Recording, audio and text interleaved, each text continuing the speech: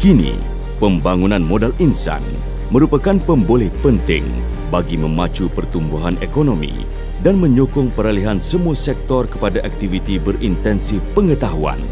Pasaran buruh yang cekap dan berkesan perlu untuk menarik pelaburan bagi membolehkan rakyat mengambil bahagian dalam aktiviti ekonomi dan mendapat manfaat daripada pertumbuhan ekonomi.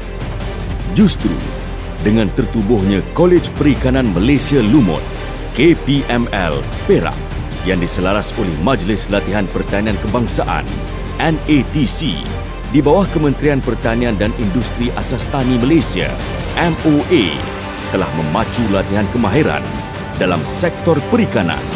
KPML telah dibina pada 23 Februari 2013 dengan kos keseluruhan sebanyak 69 juta ringgit dan telah siap sepenuhnya pada 29 April 2016.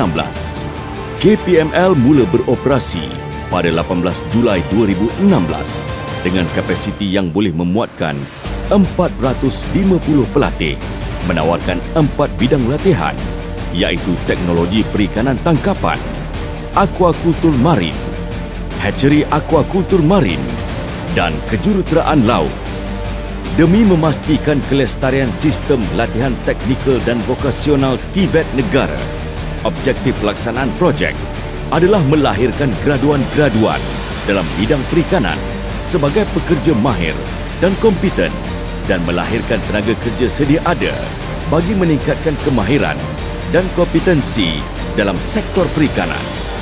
usaha dan perancangan kementerian dipergiatkan lagi bagi melahirkan tenaga kerja yang mahir dan kompeten dalam bidang teknologi perikanan tangkapan seramai 753 orang dan bidang akuakultur seramai 1295 orang serta tenaga kerja sedia ada seramai 22,700 orang dapat dilatih bagi meningkatkan kemahiran dan kompetensi dalam sektor perikanan dan pertanian menjelang tahun 2020. Dengan harapan, terbinanya Kolej Perikanan Malaysia Lumut ini dapat melahirkan tenaga kerja mahir dan usahawan tani yang berjaya dalam sektor perikanan bagi memertabatkan kedaulatan makanan negara dan memacu modal insan ke peringkat dunia. Satu pertanian, satu perniagaan, satu kemahiran dan satu kerjaya